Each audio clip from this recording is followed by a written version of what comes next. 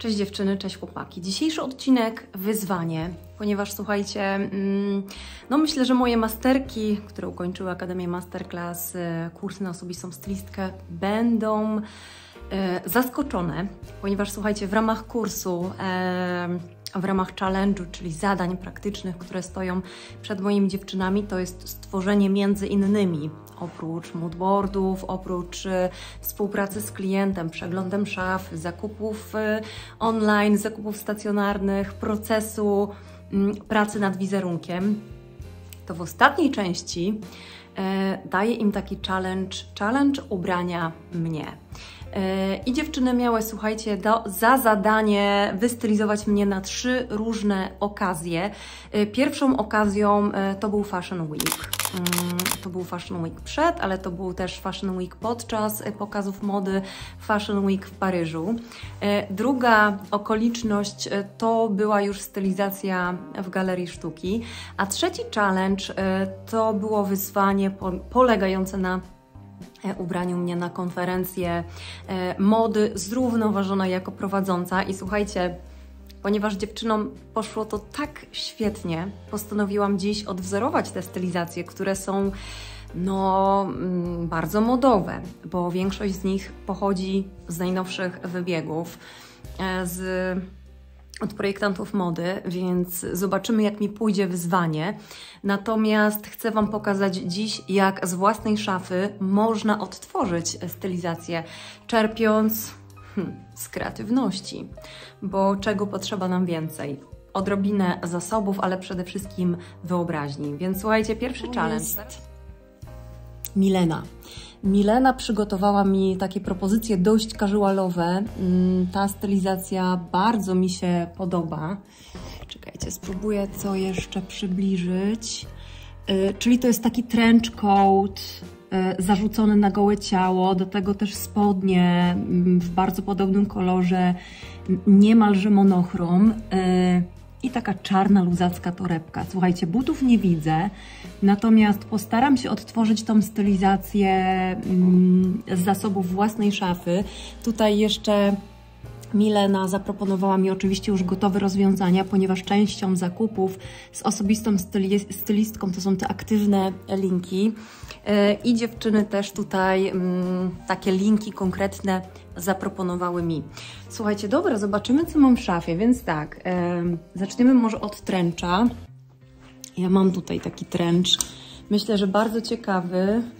Słuchajcie, to jest tręcz, zresztą gdzie go powiesić, żebyście Wy go mogły zobaczyć w całej okazałości.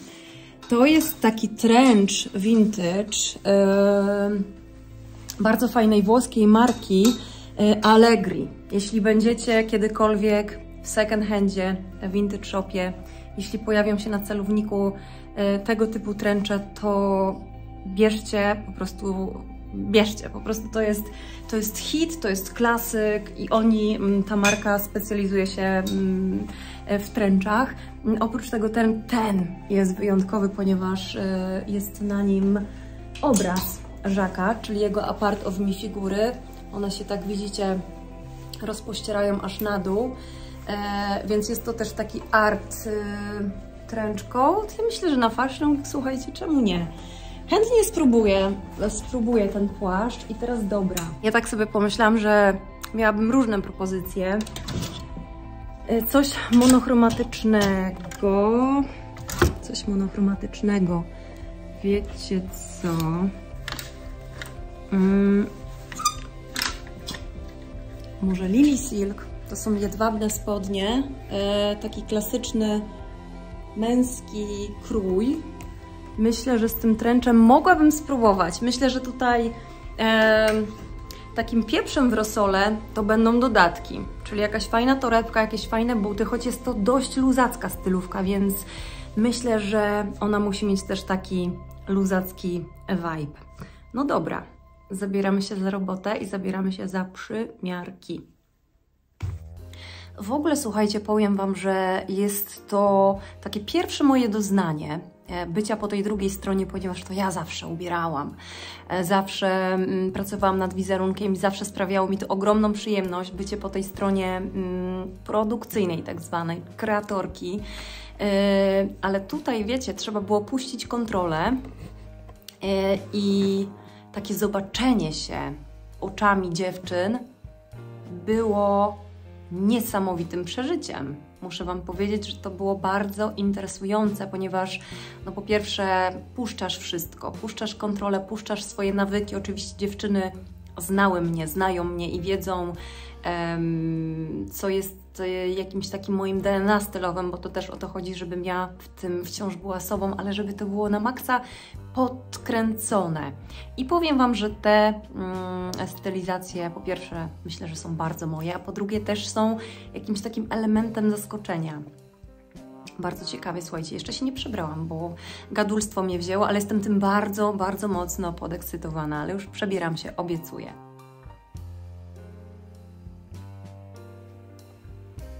Słuchajcie, więc muszę przyznać, że ta stylówka jest bardzo minimalistyczna. W zasadzie mm, nawet można by powiedzieć, że fashion weekowo bardzo mocno casualowa, ale wiecie co, to znowu pokazuje, mm, że to jestem ja po prostu, że chętnie na dzień, mm, paradując po ulicy, przyglądając się e, całemu Fashion Weekowi i też stylowym e, ludziom e, ze świata mody, influencerom, projektantom, modelkom, słuchajcie, całemu temu e, modowemu świadkowi. Ja chętnie po prostu przedzierałabym się przez te ulice w czymś takim też prostym, mm, stanowiącym tło, ale jednocześnie też wyróżniającym. Więc myślę, że ta stylizacja, mm, myślę, że mi się udała.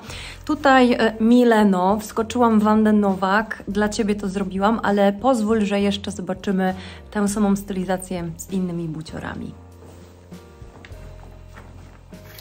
Dobra, słuchajcie, pora na inne buty. Ja myślę, że te mm, od Wandy są świetnym rozwiązaniem, ale jednak poszukiwałabym czegoś innego i zaraz zobaczycie, czy, co, co piszczy w trawie, o czym mówię.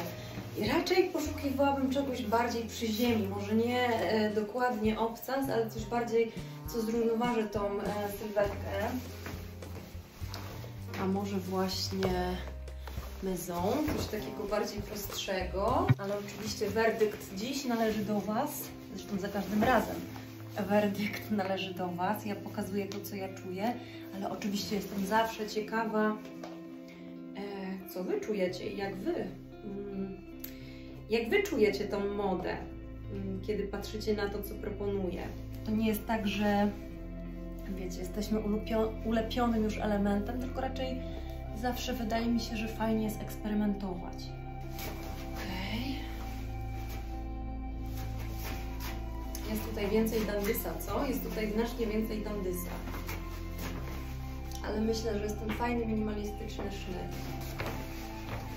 A ten worek e, to jest worek, który kupiłam w second handzie jest to produkt y, tak naprawdę włoskiej, y, włoskiej roboty, że tak to nazwę, made in Italy mm, by y, Artigiano 2000. Artigiano?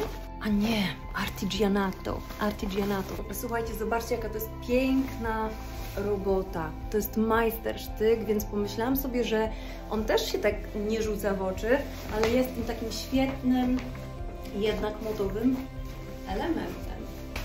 Miałabym apetyt na jeszcze jedne buty, mm, coś w bieli i będą to już, słuchajcie, ostatnie, bo przed nami jeszcze kolejne wyzwania, kolejne stylówki, kolejne interpretacje, więc trzymajcie kciuki. Słuchajcie, będą to już ostatnie obuwie. Myślę, że będzie to efekt zaskoczenia. Coś takiego, myślę, zwykłego, jednakże nieoczywistego e, i dajcie znać, która z tych propozycji Wam się mm, podoba. Uwaga, uwaga! To są, kochani moi, mule od y, Totem, ale one są z rafii. Zaraz Wam pokażę, z czego one są. To są to, to jest trafia i mm, no dobra, one już są pozaginane, ale zobaczcie, one też wprowadzają taki fajny akcent do tego, bardzo mocno integrują się z tą stylówką, bardzo mocno kolorystycznie stapiają się, tworzą bardzo fajną, harmonijną całość, są zwyklakami takimi zupełnie, ale myślę, że właśnie o to w tym chodzi, że czasami słuchajcie, im mniej tego wysiłku, tym lepiej. Tu bardzo podoba mi się ten dekolt, że on jest taki wyciosany niemalże do pępka, ponieważ umówmy się, trench założony jest na gołe ciało, a włosy są związane, to też nawiązuje do jakiegoś takiego minimalizmu, minimalistycznej nuty. Myślę, słuchajcie, dla mnie ta stylizacja ostatnia z tymi butami ma sens i myślę, że to jest taka, którą, którą absolutnie czuję, ale jestem ciekawa Waszego zdania. No i zobaczcie, tak to wygląda. Natalia Lookbook, stylizacja Fashion Week, wieczór, konferencja. To zaproponowała mi Ada, słuchajcie, i to jest... Yy i to jest kosmos, to jest jakiś kosmos, to jest przede wszystkim po prawej stronie stylizacja, która mnie urzekła i w której się po prostu zakochałam od pierwszego wejrzenia. Wiedziałam, że to jest coś bardzo mojego, ale coś też, czego nie praktykuję na co dzień, więc wychodząc już od tych wspaniałych um, złotych sandałów, czułenek z tymi Mm, no, wspaniałymi wełnianymi skarpetami. Po to, co się zadziało tutaj, słuchajcie, przepiękna bluza, ale taka, taka mocno, nazwijmy to, zmęczona, dojechana. Ja bardzo lubię takie klimaty. Y, spod tej bluzy wyłania się biała koszula, też świetnie, bardzo nonszalancko, no i całość jest po prostu geniuszem. Tego Wam dziś nie pokażę, ale pomyślałam, że może odwzóruję coś, co miałabym w szafie, więc wiadomo, że muszę liczyć mm, siły na zamiary i pokażę Wam którąś z tych propozycji. Nie wiem, jak Wy się bawicie, ale ja bawię się. Może czuję się jak po prostu jakieś dziecko w piaskownicy. E, te wyzwania, te prace, słuchajcie, z szafą, z ubraniami mm, są świetne, są rewelacyjne, dlatego też zachęcam Was do przeglądów szaf, do tego, żeby e, jednak zaopiekować się tą swoją szafą, garderobą e, na wiosnę. To jest rewelacyjny czas, żeby zrobić porządek, ale też, żeby przyjrzeć się słuchajcie, co w trawie piszczy, co jest w nas, co z nami rezonuje, bo to wszystko się tak zmienia, to wszystko jest tak dynamiczne. E, wczoraj na zajęciach online z dziewczynami rozmawiałyśmy, jak to wszystko jest e, jak to wszystko jest szybko i słuchajcie, trzeba robić, e, sprawdzam. Nie tylko sprawdzam marki odzieżowe, czyli co nam serwują, ale też jakie jest moje samopoczucie wobec tych ubrań, jakie jest moje samopoczucie, jaka kolorystyka jest mi bliska, jakie fasony, czym dokładnie chcę wyrazić swoją osobowość, swoje uczucia, swój stan. Więc no, jest to myślę mega, mega zintegrowane. Słuchajcie, kolejny challenge będzie wyzwaniem, ale myślę, że czerń i biel jest w tej mojej szafie, więc zobaczymy, na którą opcję się zdecyduje. Słuchajcie, no prawie mamy to. Jeśli jesteście gotowi, startujemy. I to jest stylizacja numer dwa na Fashion Week.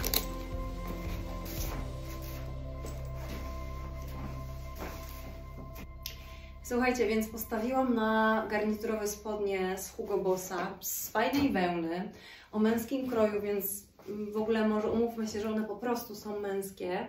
E, kupione kiedyś w second handzie, uwielbiam je i okazuje się, że są na mnie dobre, już nie muszę nosić paska. Mm, to jest e, mały plusik zaokrąglonej sylwetki.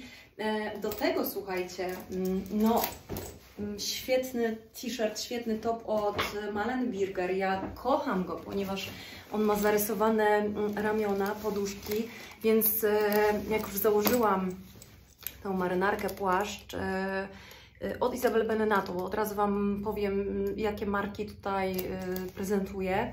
To jest płaszcz marynarka z męskiej szafy, czyli od Żaka.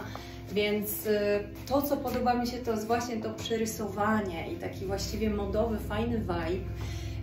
Pomyślałam, że mogłabym tutaj pod ten płaszczyk, pod tą marynarkę założyć na przykład jedwabną koszulę, puścić ją, żeby gdzieś tutaj pokazywało się coś, coś jasnego, e, jak e, w inspiracji. Natomiast miałam fajny szal jedwabny, przyznam się, że nie wyprasowany, ale fajnie, że on nie jest tak mocno wyeksponowany, więc zaledwie jest tym e, detalem. I słuchajcie, no wydaje mi się, że stylizacja e, bomba. Powiem Wam, że miałabym chrapkę się tak ubrać. Do tego lakierowane czułenka Celine, one już też wprowadzają mocno modowy e, charakter, ale to co kocham to jest ten taki dandyst, to jest ten minimalizm, to jest ten luz. E, to jest ten luz w stylizacji. Ja tutaj, kurczę, no musiałabym jeszcze fryzurę poprawić, ale może na usprawiedliwienie. Uwaga, uwaga. Słuchajcie, a jakbym założyła taki oto jeszcze kapelusz. Słuchajcie, mm, Fashion Week to jest taki moment, że wszystkie chwyty dozwolone, że można szaleć i można gdzieś być tą przerysowaną wersją samego siebie. Mm, wydaje mi się, że dziewczyny miały fantastyczne, mm, fantastyczne wyzwanie jako stylistki, ponieważ można tutaj w tym zadaniu popłynąć, ale sprawdźmy jak to wygląda z kapeluszem. Wiecie co? Match to match, więc po prostu rezygnujemy. Jednak bardzo mi się podoba ta powściągliwość, ten taki mm, minimalistyczny klimacik tego. Doradźcie mi tylko torebkę. Wzięłam e, tą białą od Kosaty ponieważ jest minimalistyczna, prosta i myślę, że fajnie się komponuje. A gdybyśmy chciały jeszcze pójść o krok dalej i zrobić e, może nieco bardziej modowy vibe e, tej stylizacji z jakąś taką mm, poświatą księżycową, to myślę, słuchajcie, że ta tuba srebrna, zresztą ona wygląda genialnie do czerni i myślę, że no to jest ten klimat, że to wprowadza jednak y, oprócz koloru y, jej geometryczna forma wprowadza ten taki właśnie modowy vibe. Dajcie znać zresztą z którą torebką i która dotychczas stylizacja podoba Wam się najbardziej.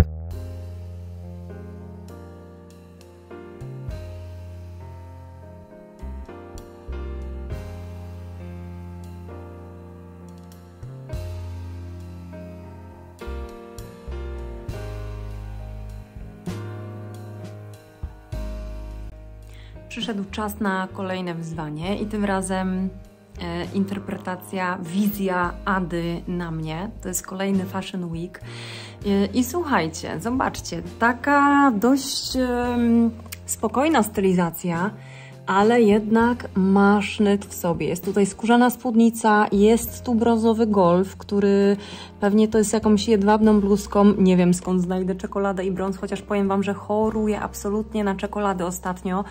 Y, stąd też y, w kolekcji pojawiają się czekoladowe torebki, pojawia się kolor taup, y, mówię tutaj o The Room. No i powiem Wam, że no tak, no po prostu kocham ten kolor i to jest niesamowite, że Ada jeszcze przygotowała E, czekajcie, czy to Ada, czy teraz e, Milena. Boże, że dziewczyny mnie uduszą. W każdym razie przepiękne czekoladowe propozycje mm, marynarek, ale to chyba była Ada. Ada, powiedz, że to byłaś Ty, bo już mi się wszystko teraz miesza. W każdym razie przepiękne i to było takie dosłownie czytanie sobie w myślach, bo tak jak Wam powiedziałam, my w różnych etapach naszego życia, na różnych etapach mamy apetyt na mm, jakieś inne rzeczy, na inną kolorystykę. I ten kolor to jest absolutnie kolorem mm, tej wiosny, prawdopodobnie tego lata. I niebieski kolor, słuchajcie, który mi się marzy. E, I powiem Wam tylko w sekrecie, że pokażę Wam już niedługo wspaniałe buty, które kupiłam. Buty moich marzeń. Jeszcze zobaczymy mm, jak na nodze, ponieważ e, paczka jest w moim rodzinnym domu. Tam ją wysłałam. E, i tak, i myślę, że będzie to taki pierwiastek koloru w mojej szafie, także bardzo jestem tego ciekawa. Ada, mam nadzieję, że dam radę, także startujemy.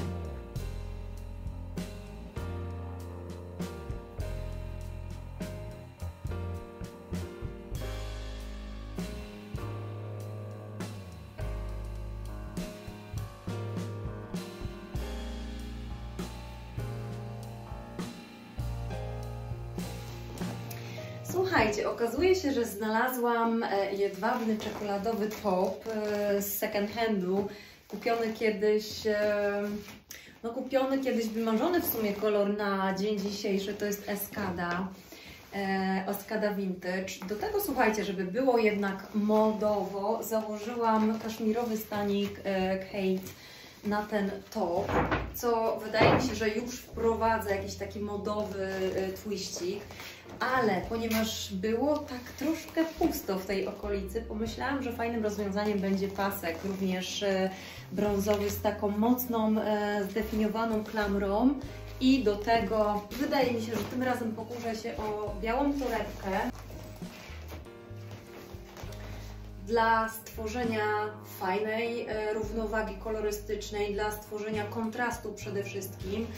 E, wydaje mi się, że jest to fajny modowy look, do tego też e, Mary Jane, wiecie, buty, które są niesamowicie modne, więc myślę, że śmiało na Paris Fashion Week mogłabym w tych butach wystartować. Oczywiście tutaj widziałabym też jakieś fajne koronkowe skarpetki, na przykład też czekoladowe, albo w jakimś pojechanym kolorze, żeby się wyróżniały, więc e, jak najbardziej. Myślę, że jest to wciąż prosta stylizacja, ale ona jest jak najbardziej moja. Wiecie, dodatkami e, określonymi można to wszystko fajnie podkręcić. Ja bym jeszcze chętnie spróbowała do tego wysoki obca. I oczywiście jeszcze spójrzcie na te fenomenalne mm, oksy. To są okulary, słuchajcie, również z takiego sklepu ze starociami. To są okulary, które pamiętają lata 60., 70., taki przełom. Mm, mają piękną oprawę, piękną ramę, mm, więc zakochałam się i no po prostu nie mogłam ich odpuścić.